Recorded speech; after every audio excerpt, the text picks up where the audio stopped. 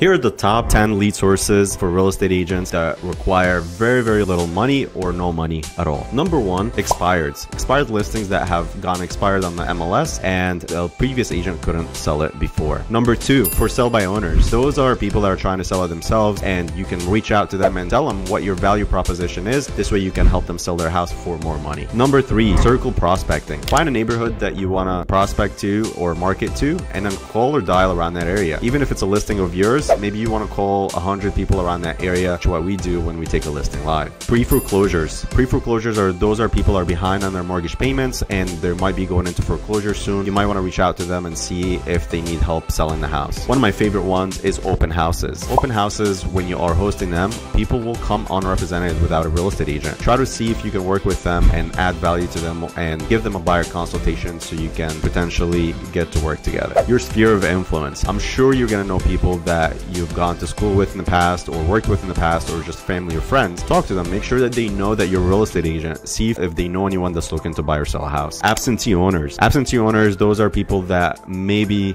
not living in the state anymore or they live in another property and using the property for investing. Maybe one day they want to decide to sell their house and what you want to do is talk to them. Networking events. You always want to be networking with other professionals and that could be investment groups or tax groups, whatever it is. Make sure that you're going to as many networking events and building relationships with various people. Social media. This is huge. Make sure that you're using your social media properly and don't always ask for business. Make sure that you're always providing value on your social media and business will end up coming to you. Door knocking. One of my favorite ones is door knocking around open houses. Whenever you're hosting an open house, door knock around the area and we say the 10, 10, and 10, 10 houses to the right, 10 houses to the left, and 10 houses across invite those neighbors to the open house.